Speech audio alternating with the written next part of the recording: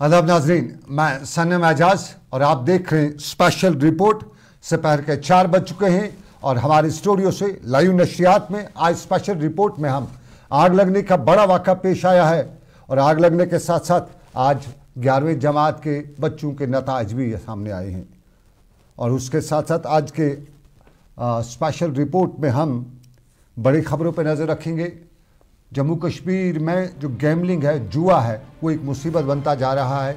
नौजवान इस जुए की जद में आ रहे हैं। लेकिन सबसे पहले हम आपको बड़ी खबर से बाखबर करते हैं और बाखबर करते हैं आमतौर पे कश्मीरी में कहा जाता है, कुछ ऐसा वाक़ा हो जाता है तो तब आमतौर पे अचानक चला जाता है आई मोजोई तो आई मोजोई आज अमरीकी सदर, साहब का सदर, डोनाल्ड ट्रंप भी करते हुए दिखाई दिए। ये कल शाम का वाक़ा है और कल शाम को सदारती इंतबात के लिए जो रिपब्लिक पार्टी के नामजदगी कबूल करने के बाद पेनिनसुला में डोनाल्ड ट्रंप, जो अमेरिका के सबका सदर भी रहे हैं, उन पर नज़दीक से गोलियाँ चलाई गई और उस गोली की चल, चलाए जाने के वाक़े में जहाँ एक तरफ़ से गोलियों की आवाज़ आ रही थी, वहीं एज यूजल एक्सीडेंट के हालात में आई मोजे कश्मीरी करता है। अंग्रेज़ी में डोनाल्ड ट्रंप आई माँ कहा होगा या आई मोज, जो कुछ भी कहा होगा लेकिन कान जख्मी उसका खर हो गया और उसका दायां कान जो है, इस शूटर की मुतद गोलियाँ चलाए जाने के वाक़े में जख्मी हुआ।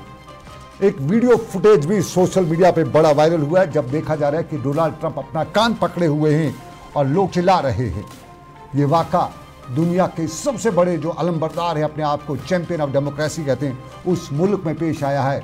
और वहाँ जो बाइडन इस वक्त अमरीकी सदर भी हैं, जो बाइडन और डोनाल्ड ट्रंप पिछले इंतबात में आमने सामने थे, तब बाइडन जीता था। तो अब की बार में आपको याद होगा अमेरिका में जो सिचुएशन बनी डोनाल्ड ट्रंप की सिलेक्शन हारने के बाद, जहाँ पे बहुत कुछ हमने उल्टा सीधा भी होते हुए देखा। उसके बाद आज पहली बार ऐसा हुआ है कि किसी सबका सदर पर इस तरह से गोलियाँ चलाए जाने का वाक़ा पेश आया एक तस्वीर की एक झलक देखिएगा। डोनाल्ड ट्रंप जो है आमतौर पर कश्मीर में उसको डोनाल्ड ट्रंप के भी कहा के नाम से भी जाना जाता है। तो डोला डोनाल्ड ट्रंप या डोनाल्ड ट्रंप, जो भी हैं, उनका ये सिचुएशन जो है, आपके अमेरिका के सदर, जहाँ दुनिया की सबसे बड़ा नेटवर्क है इंटेलिजेंस नेटवर्क माना जाता है सीआईए का नेटवर्क माना जाता है, जहाँ दुनिया की सबसे बड़ी टेक्नोलॉजी मानी जाती है, वहाँ पे भी सदर के खिला सदर को अपने कान पकड़ने पड़े हैं। इधर वजी नरेंद्र मोदी ने आज सुबह सुबह डोनाल्ड ट्रंप पर हुए इस हमले पर अफसोस का इजहार करते हुए अपने ट्वीट में अपनी नाराज़गी का इजहार करते हुए किया उनके साथ इजहार ताज़ियत हम कह सकते हैं, जिसको उन्होंने कंडम भी किया और उनकी रिकवरी की, दुआ भी की और कहा कि हमारी दुआएँ साथ में ही अमरीकी आवाम के साथ और डोनाल्ड ट्रंप के साथ। उनने डोनाल्ड ट्रंप को अपना दोस्त भी बताया।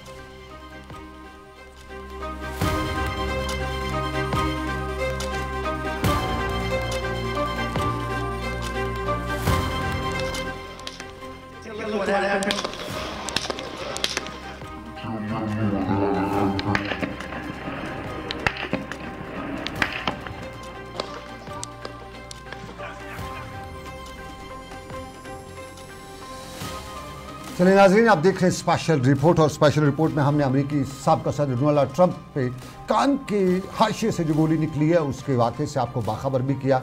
लेकिन आपको अब नाजरीन, हालात वाक़ात में जम्मू कश्मीर के हालात से वाकफ़ कराते हैं और हालात वाक़ात में जम्मू कश्मीर में हंदवारा, राजवार। हंदवारा के राजवार में इसी अब तो आपको याद होगा, एक हादसे में चार लोगों की मौत वाक़ा होती है और उसको पानी के साथ जोड़ के देखा भी गया। लेकिन दौरान इस हंदवारा में एक दर्जन के करीब इसी राजवार के यमरड़ के इलाके में, यमरड़ के गाँव में एक दर्जन के करीब मकाना जो है नज़र आतिश हुए हैं। और यहाँ पे सबसे बड़ा अलमिया यही ये बताया जाता है कि इंटरनेट आज के ज़माने में, टेक्नोलॉजी आज के ज़माने में फ़ोन नेटवर्क आज के ज़माने में, लेकिन इलाके में नेटवर्क न होने की वजह से आग जो है, वो करीबन 11 बजे लगी, लेकिन साढ़े बारह बजे के करीब हंदवाड़ा से करीबन 10 से 15 किलोमीटर की दूरी पर जो फायर स्टेशन था, वहाँ से लोग आए। तब तक उन्हें डेढ़ घंटे बाद फायर एंड एमरजेंसी सर्विस का अमला वहाँ पर पहुँचा। और जब तक फायर एंड एमरजेंसी सर्विस वहाँ पर पहुँचती तब तक आग ने सबको खाक पे बिठा दिया था, सब कुछ खाक में मिला दिया था। आपको याद होगा, जब यहाँ पे मखलूत सरकार थी तो यहाँ पे बड़े एडमिनिस्ट्रेटिव यूनिट्स बनाए गए थे। तब तहसीलें बनाई गई, नयाबें बनाई गई, लेकिन जो बेसिक ज़रूरतें थी कश्मीरी की, उसकी तरफ़ ध्यान नहीं गया। तब वो नयाबतें बनी, अदालतें बनी, तब जो कुछ भी बना। लेकिन ये जो बेसिक ज़रूरतें, ये नहीं बनी। अगर राजवार के इस इलाके में, जैसा आज लोग बता रहे थे कि यहाँ पे अगर फायर एंड एमरजेंसी सर्विस नज़दीक होता, या नेटवर्क होता और सही वक्त पे फ़ोन हो जाता media fire and emergency service को तो शायद वो वक्त पे पहुँच जाते। लेकिन जब तक लोग नेटवर्क से बाहर आए, गाँव से बाहर आए, वहाँ पहुँचे, और उसके बाद उन्होंने फायर एंड एमरजेंसी सर्विस को फ़ोन किया, तब फायर एंड एमरजेंसी सर्विस की गाड़ियाँ वहाँ पे आई, तब तक आग लगी हुई थी। आज इंतज़ामिया वहाँ पे पहुँची हुई थी। साफ़ ज़ाहिर है, सरकार का रेड क्रॉस से वहाँ पे दो तीन कमले भी दी गई होगी दो तीन किलो राशन भी दी जाए गई होगी, आज इंतज़ामिया करेगी। लेकिन यहाँ बहुत से सवाल खड़ा होते हैं। क्या ये दो तीन किलो, पाँच किलो, दस किलो राशन से उन गरीब का पेट भर सकता है? उन गरीब की जो नुकसान हुआ है, वो भरपाई उसकी हो सकती है? दो चार किलो राशन देने से या पाँच, दस कमले देने से एक टेंट भी दिया होगा, दो टेंट भी दिए होंगे हर घर को। ये टेंट और इससे क्या होगा? और आपको बताऊँ, मैं चूँकि कई बार इस तरह के वाक़ देख चुका हूँ, जब कहीं भी आग लगती है और आग के दो तीन दिन बड़ा बातें की जाती हैं, लेकिन बाद में जब उन्हें आग लगने, जो मकान के रेनोवेशन है या रिकन्स्ट्रक्शन के लिए लकड़ी जो बाज़ार से लानी पड़ती है उसकी जो है, कीमत जो है, वो बहुत ज़्यादा आसमान पर छू रही होती है। तीन, चार हज़ार रुपये में देवदार का पर एसेप्टी मिलता है। काय पंद्रह सौ, दो हज़ार के आसपास मिलती है। तो गाँव का ये आदमी कैसे वो मकान बना पाएगा? वो शहर का आदमी हो या गाँव का? कैसे मकान बनाए पाए। सरकार रिहेबिलिटेशन की बात करती है। सरकार रिहेबिलिटेशन में अगर चाहे तो ऐसे लोगों को लकड़ी दे सकती है। सब्सिडी पे इनको लकड़ी फराम कर सकती है। सब्सिडी पे इनके टीन की चादरें फराम की सकती है। सब्सिडी पे इन्हें ईंटें या सीमेंट बजरी दी जा सकती है। लेकिन सौ, दो सौ एक क्विंटल चावल या दस, बारह क्विंटल किलो चावल या दो, दस, पाँच, दस कमले रेड क्रॉस में रुपया हज़ार, दस हज़ार। क्या उससे किसी मकान को पिछले दो सालों मैंने जितनी भी बिल्डिंग्स देखी जिनकी आग लगी उनको उन लोगों ने दोबारा तामीर अभी तक नहीं कराई, अक्सर का अक्सर जगहों पे है। और उसकी सबसे बड़ी वजह है कि आग खाक पे बिठा देती है और उसके बाद उसको रिकन्स्ट्रक्शन के लिए एक नई नई सुबह की शुरुआत के लिए सपोर्ट जो सरकार को होना चाहिए था, वो नहीं मिलता है। हंदवाड़ा में जो आग लगी है, राजा इसाक हमें हंदवाड़ा से ज्वाइन करेंगे। जानेंगे हम उनसे? आग लगने की वजह तो साफ़ ज़ाहिर है फायर एंड इमरजेंसी सर्विस के कुछ अहदेदारों ने बताया कि बिजली के शॉर्ट सर्किट की वजह से लगी है। लेकिन फायर सर्विस पंद्रह किलोमीटर का रास्ता जो है डेढ़ घंटे में तय करता है। इसाक आप तक मेरी आवाज़ आ रही है? जी sir. Raja Ishaq. Sir sir. बताइएगा क्या वाक़ा पेश आया रात को डेढ़ बजे? ये जो यमरड़ में आग लगी उसके बाद फायर सर्विस देर से क्यों पहुँचा? जी सर मैं आपको बताते चलूँ कि वहाँ पे आग शाम देर गई अचानक नमोदार हुआ है। बता यूँ जा रहा है कि बिजली के शॉर्ट सर्किट होने की वजह से जो है वहाँ पे आग लगी लेकिन आग लगने के बाद ही जो है वहाँ पे नेटवर्क का खिदमत नहीं थी जिससे वो फ़ौरन कांटेक्ट कर सकेंगे फायर एंड इमरजेंसी को। लेकिन उन्हें जो है बहुत दूर जाना पड़ा है, जिसकी वजह से जो है वो काफ़ी लेट उन्हें जो है फायर सर्विस डिपार्टमेंट को जो है कंटेक्ट करना पड़ा जिसके कारण जो है करीबन 10 से ज़्यादा मकाना जो है जिन्हें काफ़ी सारे मुश्किल हुए थे वो उनमें बताइयों जा रहा है कि पेड़ बकरिया भी जल के जो है वहाँ वहाँ घर वालों को जो है काफ़ी सारे नुकसान हुए ये, ये, ये बताइएगा वहाँ पे आज एडमिनिस्ट्रेशन आई थी मदद रिलीफ वगैरह दिया होगा? जी सर कौन कौन आया था एडमिनिस्ट्रेशन एडमिनिस्ट्रेशन की तरफ़ से डिप्टी कमिश्नर कुपवाड़ा आए थे और उनके साथ साथ एडिशनल डिप्टी कमिश्नर हंदवारा साथ साथ तहसीलदार साहब कुछ फ़ूड किटें भी उन्हें जो है उन घर वालों में जो है तकसीम किए गए और उनके साथ साथ जो है उन्हें यकीन दिला है कि जहाँ तक एडमिनिस्ट्रेशन की कोशिश रहेगी कि इमदाद के फ़ौरन तौर जो है उनके नाम भी लिखे गए हैं, लेकिन उनको यकीन दिलाया कि एडमिनिस्ट्रेशन पूरी तरीके से आपके साथ है बहुत शुक्रिया, इसाक। दोबारा हम आपके पास आएँगे। राजा इसाक आपके साथ, तारिक साहब भी रहेंगे, उनसे हम बाद में बात करेंगे। लेकिन पहले हम आपको नाजीन बताते चली कि यहाँ पे आग लगी फायर एंड इमरजेंसी सर्विस डेढ़ घंटे लेट पहुँची। वो नेटवर्क ना होने की वजह से। चलिए हम ज़रा दूसरे मुद्दे पे चलते हैं। आज के स्पेशल रिपोर्ट में हम कुछ बात बताएँ। आपको आज ग्यारहवीं जमात के नतज का ऐलान भी हुआ है। ग्यारहवीं जमात के नतज में आज बहत्तर फ़ीसद बच्चे जो है, वो पास करार दिए गए हैं। एक लाख तेईस हज़ार छब्बीस बच्चों ने इम्तहान में शमूलियत अख्तियार की थी। अट्ठासी हज़ार तीन सौ छियानवे बच्चे आज ग्यारहवीं जमात में पास हुए हैं और लड़कियाँ एक बार फिर बाजी मार गई हैं। लड़कियों ने आज पचहत्तर फ़ीसद लड़कियाँ जो हैं वो पास हुई हैं। लड़कों में से सिक्सटी नाइन, यानी उनहत्तर फ़ीसद लड़के जो हैं वो पास हुए हैं। इन ग्यारहवीं जमात के नतज पे मुझे बहुत एतराज़ है। रिज़ल्ट जो भी आया उस पर एतराज़ नहीं, मुझे एतराज़ है, अप्रैल दो को एग्ज़ाम शुरू हुए थे। आज जुलाई है, जुलाई की चौदह तारीख है। अप्रैल, मई, जून, जुलाई। अप्रैल का महीना, मई का महीना, जून का महीना, जुलाई के पंद्रह दिन। साढ़े तीन महीने बाद रिज़ल्ट ग्यारहवीं जमात का डिक्लेयर किया जाता है। अब ये बच्चे कब एडमिशन लेंगे, कब दूसरी क्लास में जाएँगे? और ये बच्चे पिछले साल के एग्ज़ाम दे रहे पिछले साल का जो इनका ईयर हुआ था, उसका। तो हमारी तालीम पे एक बड़ा सवाल है। हमने परसों ही आपको तालीम के निज़ाम के हवाले से एक स्टोरी दिखाई थी। और उस स्टोरी का हमें फॉलोअप भी बहुत मिल रहा है। हमें कल ही एक दोस्त ने फ़ोन करके बताया कि महकमे तालीम के सोगाम लुलाब जून में एक टीचर जो हैं, वो एसडीएम ऑफ़िस में पटवारी का काम करते हैं। वो महकमे तालीम में कहीं नहीं है, वो पटवारी का काम करते हैं एसडीएम ऑफ़िस में। उनका नाम भी हमें बताया गया है, किस स्कूल में बताया गया, हम सी ओ कुपवारा से गुजारिश करेंगे। सोशल मीडिया पे कल कुछ हमारे जो टीचर्स यूनियंस वगैरह हैं, उनके कुछ लोग बता रहे थे कि हमने महकमे तालीम को बड़ा बदनाम किया है। लेकिन हम उनको ये बात भी बताना चाहेंगे कि मेरे ही, क्योंकि उस दोस्त ने मुझे बताया कि मैंने सभी जगहों का नाम लिया, अपने इलाके का नाम लिया तो सोगाम जून के एसडीएम ऑफ़िस में पटवारी का काम जो है, पटवारी या क्लर्क का काम जो है, वो टीचर कर रहा है 2005 से वहाँ पे है। तो ये है वो अलमिया, जो बच्चे आज, लड़के जो है आज, फेल हुए हैं, सिक्सटी उनका रिज़ल्ट आया है। ये अलमिया है। और फिर रिज़ल्ट आने के बाद अब कब ये बच्चे स्कूल जाएँगे, कब इनकी एजुकेशन होगी, कब ये होगा ये बहुत बड़ा सवाल है। लेकिन हम बच्चों की अगर बात करें तो बच्चों की बात के साथ साथ F M youth forum Kashmir की तरफ़ से आज बड़गाम में एक प्रोग्राम मुनद किया गया। F M youth forum Budgam नौजवानों को नए ज़माने के हालात, वाक़ात से रोशनास कराता है और मुख्तार अहमदार की सरबराही में मुनद इस इजलास के दौरान नौजवानों को इलाके के मुख्तलिफ़ मसाइल के हवाले से आगाही दी गई। बडगाम में इन दिनों शिया सुनी इतिहाद की बातें भी की जा रही हैं और साथ साथ में आज मुहर्रम का मुक़दस दिन आयाम चल रहे हैं। इस दौरान इन नौजवानों को अपनी ज़िम्मेदारी से आगाह भी कराया गया और नौजवानों को बताया गया कि माशरे के बहुत से मनफी पहलू हैं। पॉजिटिव तो हैं ही लेकिन मनफी पहलू भी और उन मनफी पहलुओं से हमें अपने आप को बचाना भी है और अपनी सोसाइटी को भी बचाना है। तो बडगाम में आज F M youth forum Kashmir की तरफ़ से मुनद हुई मीटिंग के दौरान नौजवानों को ये दरस, ये सबक भी पढ़ाया गया कि आने वाला वक्त हमारा है और आने वाले वक्त के हवाले से हमें आज ही तैयारी करनी है।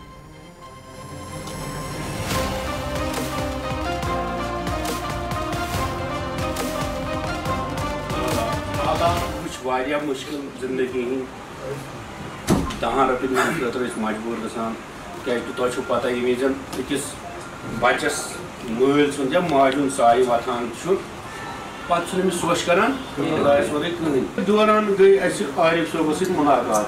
तमो बूज इत पे मे बूज यह यूथस कर ग डी सी एस हे ये मे महलस इत पे प्रॉब्लम मे वो ग एग्जानस हे मे हुन इत पे प्रॉब्लम यूथस खतर मतलब करान कोशिश मगर यमन रोज है ना। याद करे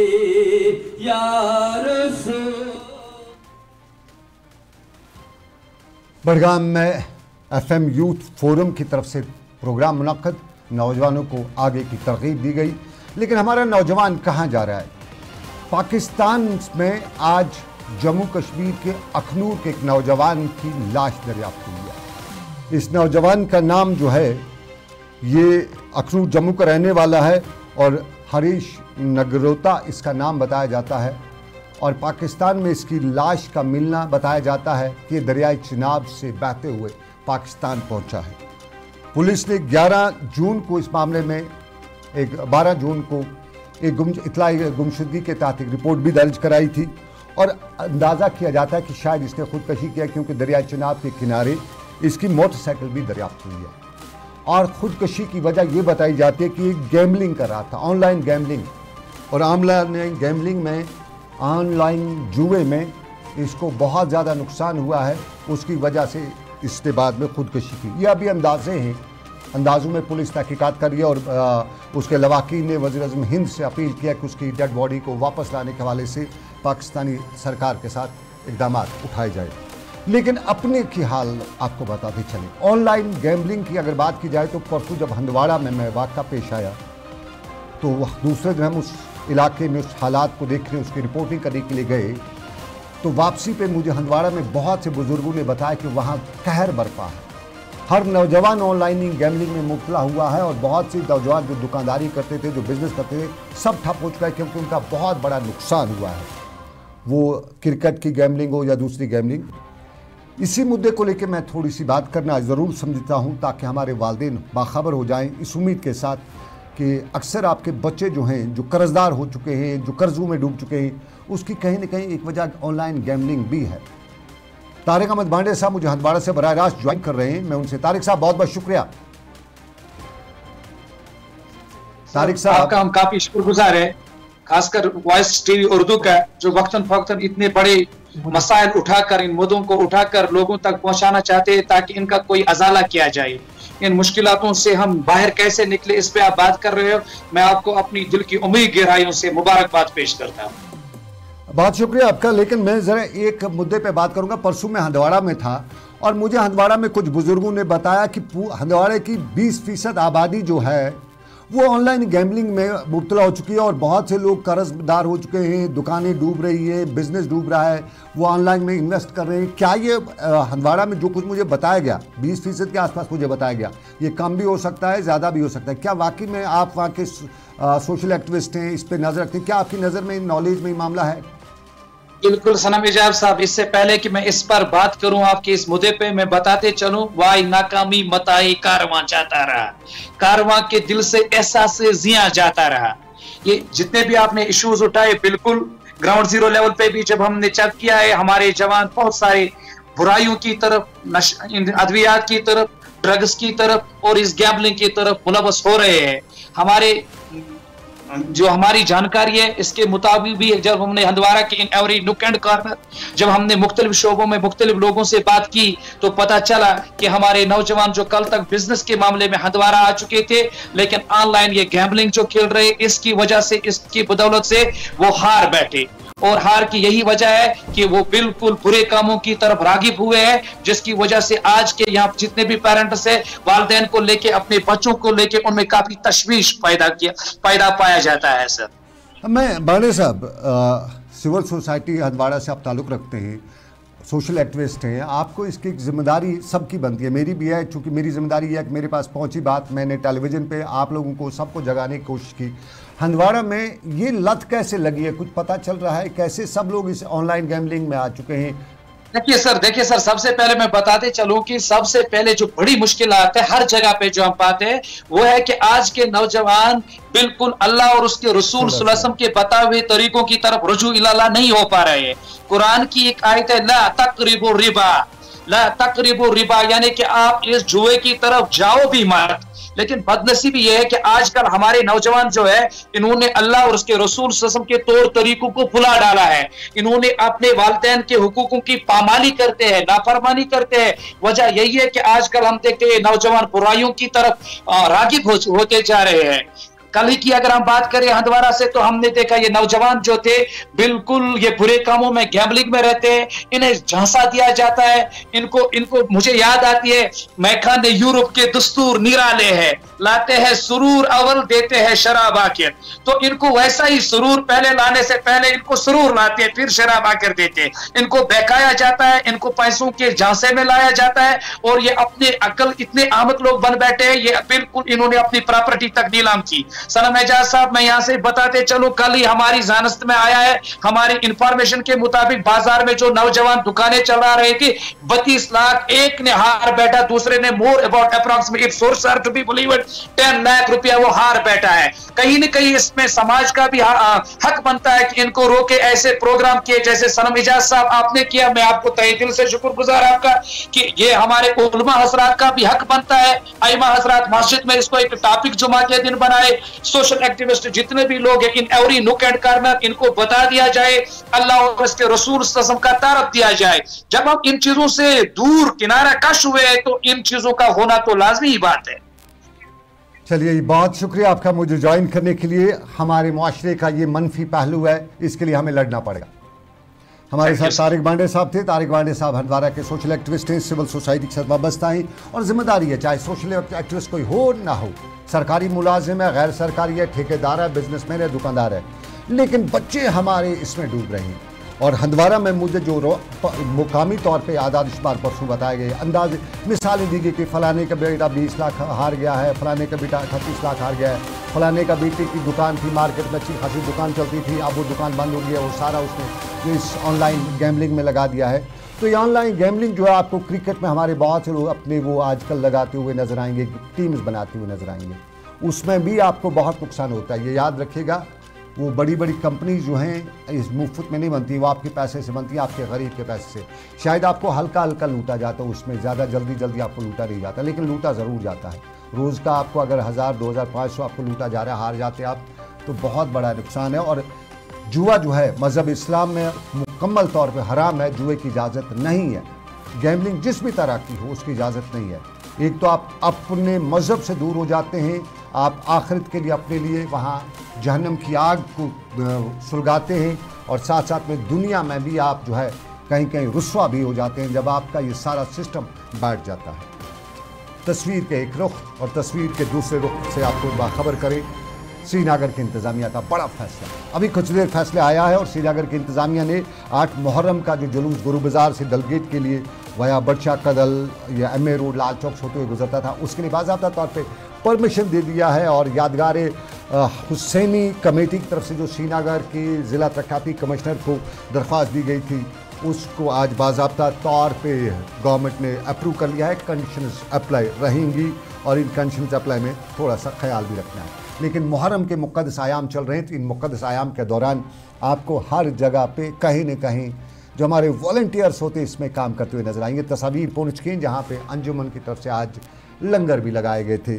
और इन लंगरों के दौरान जो राह चलते अज़ादार हैं लोग हैं, राह चलता जो भी है, उन्हें पानी पिलाया जाता था, खाना खिलाने की व्यवस्था की जा रही थी।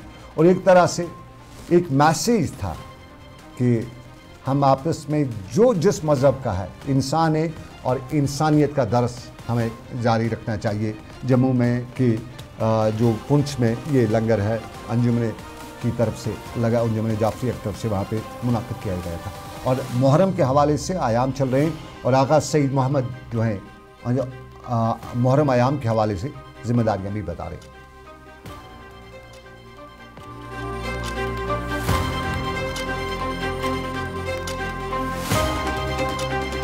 से सवाल कोरुत रहमत आलमीन वसल्लम सुंद नूर चशम जन चौदह शत वरी ब्रो आव शहीद कर मगर वनस तमाम आलम इंसानियत मज इंसानी किरदार इमाम हुसैन नश लबन इमाम हुसैन हंदिस अमे बापत शहादत क्या टठ नबी सल्लल्लाहु अलैहि वसल्लम फरमो इन हुसैन मिसबाउलदा व सफीनत नजा यम सात यथ दुनिया आय तशबी दिन अन गटिस अन गटिस मज हमेशा गाश ज़रूरत इमाम हुसैन पैगाम इमाम पैगंबर फरमो हुसैन तुथ चरागा यह अन गटिस नूरानियत मज तब्दील कर अन गोट हमेश मगर अत नूर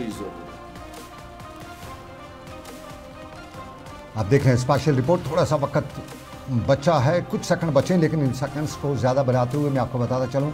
गांधरबल के अहमदनगर से गदूरा की तरफ़ से जो लिंक रोड था, जो गांधरबल और श्रीनगर को मिलाता था करीबन साढ़े तीन किलोमीटर का लिंक रोड जो है, इस पे आज मैकडम डाला जा रहा था।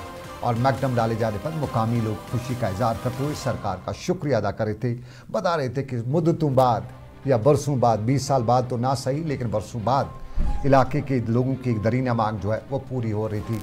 और ज़िला इंतज़ामिया श्रीनगर के साथ साथ गवर्नर इंतज़ामिया का शुक्रिया किया जाता था।